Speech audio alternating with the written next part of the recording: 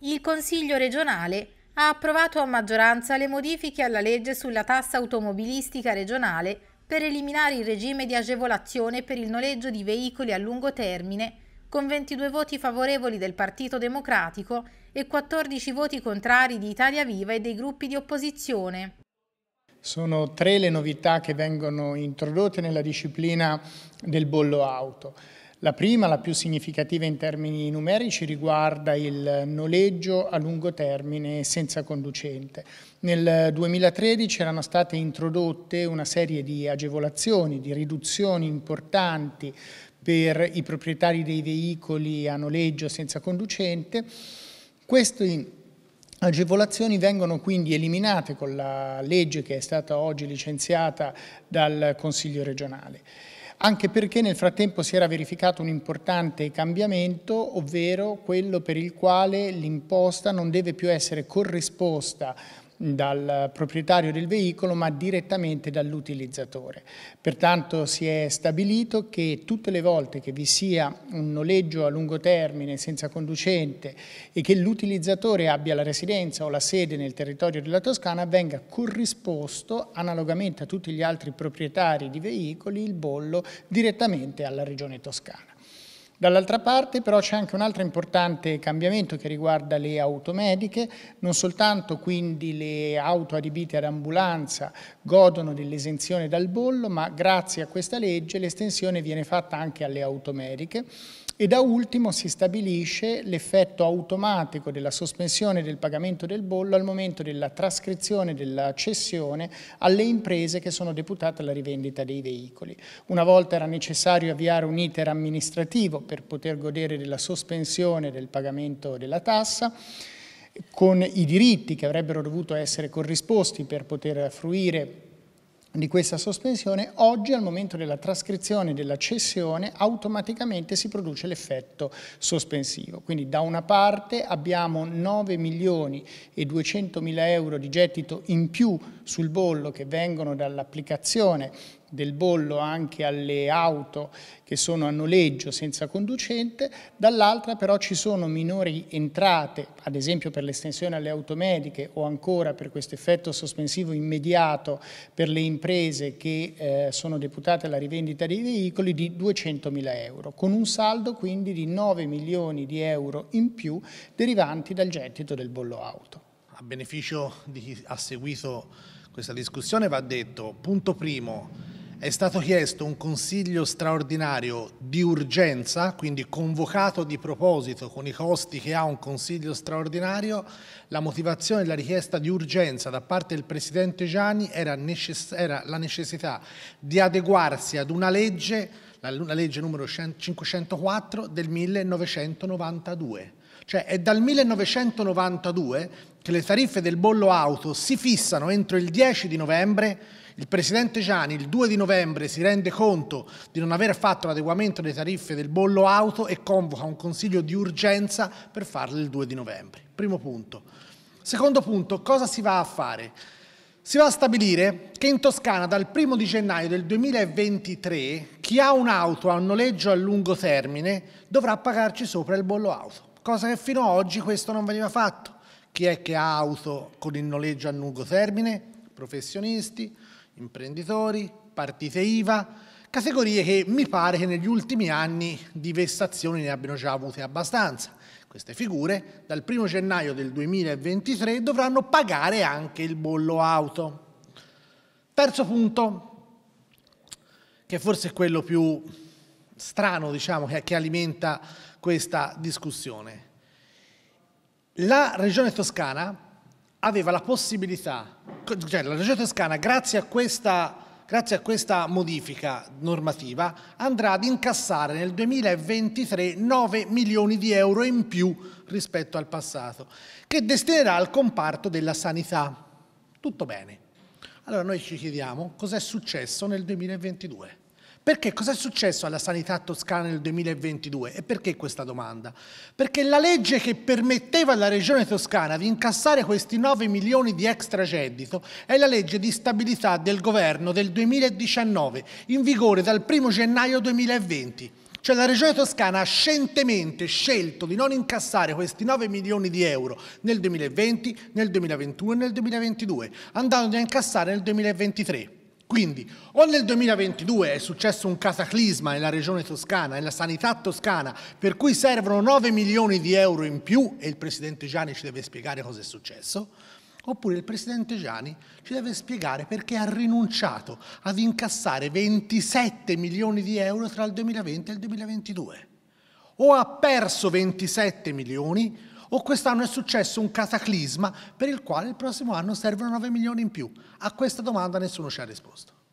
Ma si è arrivati al Consiglio straordinario perché deve essere pubblicata la modifica perché entra in vigore dal 1 gennaio entro il 10 di novembre con la pubblicazione sul bollettino ufficiale della Regione. Quindi oggi era il giorno utile per poter avere i tempi poi non solo di approvarlo ma di pubblicarla sul bollettino ufficiale della Regione. Si è fatta molta agitazione su questo ma in realtà era una motivazione molto semplice, non c'era un'urgenza per eh, accorciare i tempi tempi del dibattito, ma solo per eh, quello che ci richiede la legge. Bollo auto eh, per tutti i cittadini rimarrà eh, per l'anno prossimo eh, esattamente quello che è ora. La modifica va a incrementare invece il bollo auto degli utilizzatori dei mezzi a noleggio. Quindi una nicchia, una categoria molto precisa, perché? Perché è cambiata la legge a livello nazionale, invece che le imprese proprietarie dei mezzi che vengono messi a noleggio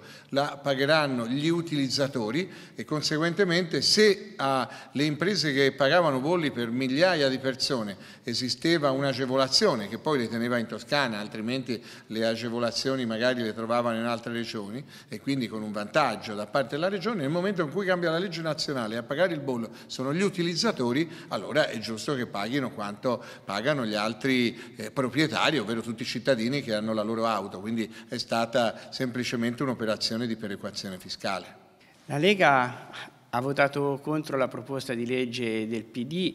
non tanto perché eravamo contro a togliere eh, il 10% di sconto per chi ha dei veicoli a noleggio, quanto piuttosto critichiamo e fortemente il metodo, eh, dubitiamo seriamente del carattere di urgenza di questo Consiglio perché tutti sanno che entro il 10 di novembre eventuali modifiche eh, sul bollo auto devono essere adottate dalle regioni. Quindi c'era tutto il tempo per intervenire e questo non è stato fatto. Siamo arrivati in fretta e furia ad approvare un provvedimento che non è chiaro neppure per quanto riguarda le fattispecie di riferimento. Noi abbiamo presentato un emendamento per dire se si tratta soltanto dei veicoli a noleggio a lungo termine, così come fa riferimento la normativa nazionale, o anche a quelli a breve. C'è molta confusione, eh. c'è anche divisione all'interno della maggioranza. Abbiamo visto ecco, Italia Viva eh, che non è stata eh, a votare questo provvedimento e consideriamo invece che la Lega è riuscita a far approvare un proprio ordine del giorno per il sostegno alle famiglie con minori a carico con gravi disabilità. Questa è la Lega del fare. Noi diamo, cerchiamo di dare risposte, cerchiamo di analizzare compiutamente i provvedimenti che vengono da una giunta invece che è sempre più in stato di confusione. E la ha la meglio rispetto a quello che potrebbe essere il buon senso, il dialogo con l'opposizione. La giunta regionale evidentemente ha bisogno di andare a cercare delle risorse finanziarie perché è l'unico modo con cui si giustifica la fretta e il modo con cui in questo momento sono andati a eh, mettere le mani nelle tasche di partite IVA, piccolissime imprese fatte anche da una sola persona che sono quelli del noleggio auto a lungo termine ad esempio per ricavare 9 milioni di euro che mi viene da pensare sono quasi la stessa cifra che un anno fa era stata data a Toscana Aeroporti come ristoro eh, salvo poi poi sapere che erano stati divisi gli utili da quel punto di vista. Un'altra cosa molto curiosa è che vengono chiesti questi 9 milioni in più eh, dalle casse che vengono comunque, sono mani in tasca che vengono messe a una categoria che lavora e che produce, ma non si sa come vengono finalizzati. e soprattutto viene da pensare se la Regione non abbia trovato altro su cui risparmiare o su cui riuscire a incassare maggiormente. E a questo punto viene da fare due riflessioni. I rumors riguardo il buco di bilancio che ci aspetterebbe a fine anno per la sanità continua a essere sempre più forte e consistente e il dubbio che siano diciamo, un bicchiere di acqua in mare per cercare di andare a colmare questo buco. L'altro pensiero che ci viene da fare riguardo a questa iniziativa, a questa eh, presa di posizione diciamo, della eh, Regione Toscana riguarda il fatto che eh, le cifre che vengono, vengono, cercate non sono state vincolate in nessun modo. Quindi la Regione oggi ci dice che ha trovato dove esigere 9 milioni di euro in più dai toscani, da una categoria di toscani, ma non ci dice come le vuole spendere. E il sospetto è che in realtà ci sia dietro un problema più grosso di quello che in questo momento appare. Ma Tel Aviv ha votato contro questa legge perché riteniamo inopportuna un aumento delle tasse che non venga poi correlato a un'attribuzione di queste risorse che sono 9 milioni di euro a favore poi delle imprese, dei commercianti, degli artigiani, di coloro che più di altri stanno soffrendo. quindi noi avevamo detto fin dalla settimana scorsa che eravamo disponibili ad aumentare questa tassazione solamente a una condizione, quella condizione che queste risorse, siccome verranno pagate essenzialmente da libri professionisti, da artigiani, da imprese che molte volte hanno auto a noleggio, potessero poi essere restituite nei confronti delle imprese, dei commercianti, degli artigiani che più di altri stanno soffrendo rispetto al caro bollette, al caro energia. Riteniamo che questo sia una cosa ingiusta. Non servono queste risorse per pagare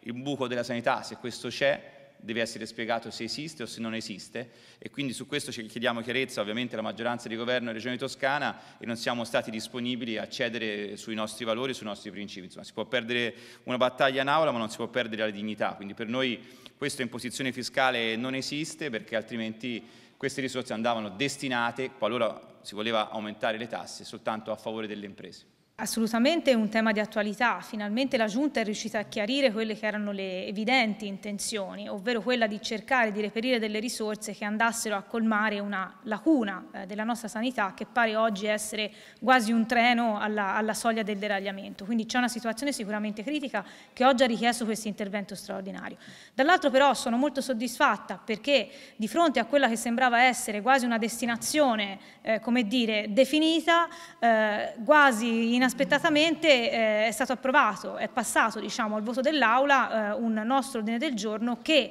su quei 9 milioni finalmente dava, cercava almeno di dare una risposta eh, alle imprese eh, ovvero prevedendo che queste risorse eh, andassero eh, a, eh, de, ad essere destinate per quanto riguarda diciamo, interventi strutturali eh, per far fronte a caro bollette, o meglio, all'efficientamento energetico degli edifici produttivi. A noi sembra che eh, oggi siamo in una situazione in cui il sostegno alle attività produttive e quindi di conseguenza l'occupazione debba essere una priorità. Abbiamo, come dire, scansato che queste risorse fossero destinate poi integralmente invece alla sanità, che già copre l'80% del bilancio regionale e noi non possiamo permetterci di mettere sulla spesa corrente altre risorse senza programmazione o almeno eh, non solo senza programmazione ma anche senza vederci chiaro su quello che è il futuro del sistema sanitario. Oggi invece siamo riusciti a dare, grazie a questo ordine del giorno, eh, anche un indirizzo specifico a sostegno della, del, del, sistema produttivo. Io credo che sia davvero eh, un segnale importante. Aggiungo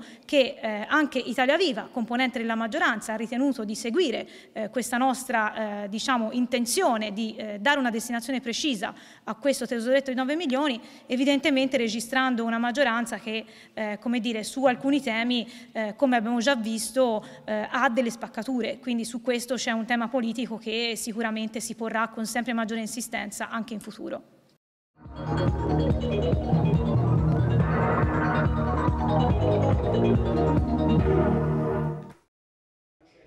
Via libera a maggioranza dal Consiglio regionale con 28 voti favorevoli e 10 astensioni alle linee di indirizzo per l'elaborazione del programma di attività di IRPET definite dal governo regionale. Come ogni anno la Giunta regionale ha recepito una serie di indirizzi da trasmettere ad IRPET per l'attività di ricerca del prossimo anno anche in una proiezione pluriennale. il Consiglio regionale ha condiviso sostanzialmente le linee di indirizzo che la Regione ha trasferito ad IRPET in quanto l'attività di ricerca che questo ente svolge si dimostra da sempre particolarmente preziosa per l'azione di governo regionale, ma a maggior ragione si dimostra tale in questo contesto storico, un contesto caratterizzato da profonda incertezza, nel quale da una parte occorre fronteggiare la crisi energetica, i rincari dei costi che sicuramente incidono sul prodotto interno lordo anche della nostra regione, dall'altra la necessità di far fronte alle tensioni internazionali e al minore approvvigionamento di risorse che si registra in questo periodo. Il tutto in un momento storico particolare come questo, nel quale la Toscana, come le altre regioni italiane, è chiamata a vivere la sfida del PNRR e quindi l'utilizzo delle risorse in una logica di sviluppo compatibile. In questo contesto l'attività di ricerca di IRPET diventa particolarmente importante anche sotto il profilo della consulenza che viene prestata da quest'ente sia alla Giunta regionale che al Consiglio regionale ed è per questo che il Consiglio regionale toscano ha deciso di approvare le nuove linee di indirizzo ad IRPET, nelle quali peraltro ci si appunta su un aspetto particolare, quello della innovazione e della digitalizzazione, soprattutto allo scopo di considerare quali aree del nostro territorio regionale vivano uno stato di digital divide e capire quali ripercussioni questo possa avere sullo sviluppo dell'economia e della società toscana non ci convincono del tutto, lo diciamo eh, subito. Noi in, in eh, commissione abbiamo ascoltato la relazione del direttore di IRPET, Nicola Ciclone, Abbiamo negli anni espresso, quando c'era da esprimerlo, il nostro favore rispetto a quell'attività di IRPET. E quest'anno alcune cose ci lasciano un po' perplessi, innanzitutto perché credo che quello che sta accadendo eh, nel mondo eh, e anche per l'economia italiana, con tutte le ripercussioni che ci sono dalla pandemia alla crisi energetica, porterebbe a una serie di eh, riflessioni. La prima sicuramente se quella eh, crescita economica inclusiva e sostenibile, che è sicuramente un obiettivo condivisibile ma molto ambizioso, sia oggi veramente da realizzare. Noi poi siamo rimasti basiti quando, eh, vedendo ecco, un programma di attività con proiezione triennale, non si fa minimamente cenno a quello che dal nostro punto di vista è uno degli strumenti per far ripartire l'economia toscana, che è il regionalismo differenziato. Noi abbiamo chiesto al direttore, abbiamo sollecitato anche l'Aula, perché c'è stato detto di una scarsa attualità del tema, in realtà se andiamo a vedere l'attività del nuovo Parlamento e le parole soprattutto del nuovo Presidente della Camera Lorenzo Fontana è sicuramente di stretta attualità. Quindi eh, esprimiamo tutta una serie di perplessità sul programma di attività che dal nostro punto di vista deve essere aggiornato di più per eh, rispondere meglio alle eh, necessità e alle problematiche del momento. Un momento che sta mettendo sotto pressione tanti toscani e dobbiamo ecco, proprio per questo interagire sempre di più anche con lo stesso Istituto di ricerca di programmazione economia e territorio. Noi chiediamo da tempo un confronto continuo in prima commissione ancora non sta accadendo e non vorremmo non aver avuto gli strumenti, le conoscenze adeguate per poter dire un giorno non abbiamo fatto tutto quello che potevamo fare per il nostro paese, per la nostra Toscana. Ma ne abbiamo votato a favore perché abbiamo dato a IRPET l'indirizzo di affrontare uno studio sul digital divide in Toscana, cioè su eh, come la eh, diffusione di internet, della rete in Toscana possa creare differenze tra una zona rispetto all'altra. Noi abbiamo chiesto di inserire due valutazioni che secondo noi sono fondamentali ovvero di capire se questo, questo, divario digitale che esiste ad oggi tra alcune zone piuttosto che altre influisce anche sulla diffusione, sulla nascita di nuove imprese, cioè un, soprattutto le imprese individuali, le ditte più piccole, cioè se uno deve aprire ditta oggi valuta o meno di aprirla in una zona dove la copertura internet è più forte rispetto a un'altra, se sì o no, e soprattutto anche sulla scelta della residenza. Quindi il tema della residenzialità, tanto cara ai nostri sindaci, cioè cercare di capire una persona dove va a vivere, se oggi nella scelta della zona dove vivere, dove acquistare una casa, dove radicare la propria famiglia, prende in considerazione anche la copertura digitale, la presenza o meno di internet e anche questo secondo noi è un tema importante. Quindi siamo curiosi poi di vedere cosa ne nascerà da questo studio, perché oggi purtroppo la Toscana ha troppe zone dove si paga ancora un gap digitale rispetto ad altre.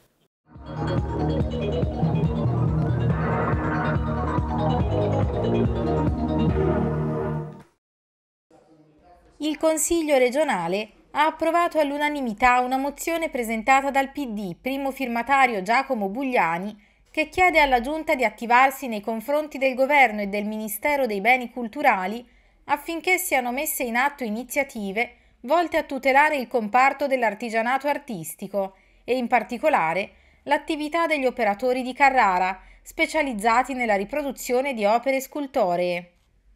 Una mozione che è stata approvata all'unanimità dall'Aula del Consiglio regionale che ha come obiettivo quello di tutelare un settore particolare dell'artigianato, l'artigianato artistico con particolare riferimento alla riproduzione di opere d'arte, segnatamente scultore eh, famose.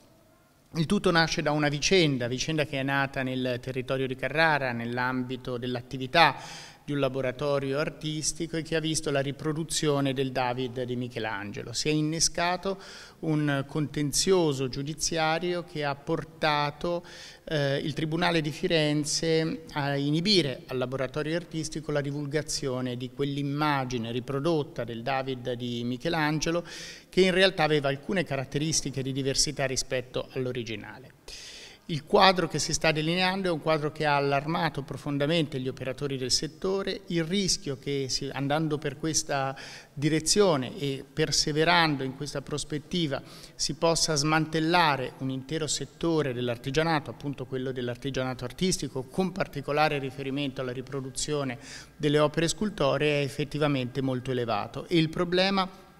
non riguarda soltanto Carrara, che pure ha un'attività molto intensa nell'ambito dei laboratori artistici del marmo, ma può riguardare appunto l'intero territorio nazionale. Per questo con eh, questa mozione ho voluto chiedere alla Giunta regionale di potersi attivare presso il Ministero affinché possano essere adottate tutte le misure più opportune affinché pur nel rispetto della normativa vigente, in particolar modo del Codice dei beni culturali e ambientali, possano mettersi in atto le misure necessarie per garantire questo settore così importante, quello dell'artigianato artistico, tutte le imprese che vi operano, che sono oltre 20.000, e anche i moltissimi lavoratori di questo settore.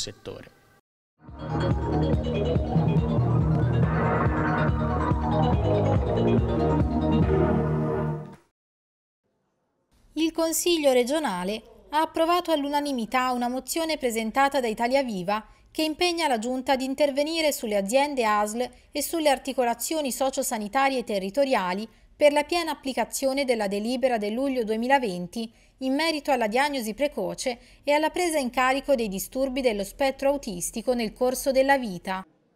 Sì, ringrazio i colleghi del Consiglio regionale per aver eh, votato in maniera unanime un atto che va a favore dei ragazzi che soffrono della sindrome dell'autismo, delle loro famiglie, di un percorso individuale che necessita di una diagnosi precoce che deve essere fatta, di un'attuazione di una delibera che da troppo tempo attende di essere applicata in maniera omogenea in tutta la Toscana. E questo credo che sia un atto importante, quindi un monito, un richiamo all'assessorato alla sanità, perché su questo aspetto si possa vigilare. Io fin da quando ero Presidente di Commissione di Sanità su questo tema mi sono attivato con forza e oggi abbiamo ripresentato con coraggio questo atto che poi va a favore delle famiglie e dei percorsi individuali dei ragazzi che devono avvenire sia in ambito scolastico ma anche fuori dalla scuola. Questo è un elemento positivo che può dare tanta autonomia ai ragazzi, nel contempo se individuato in maniera precoce può, eh, una diagnosi precoce può aiutare anche a migliorare molto, molto la qualità della vita di questi ragazzi.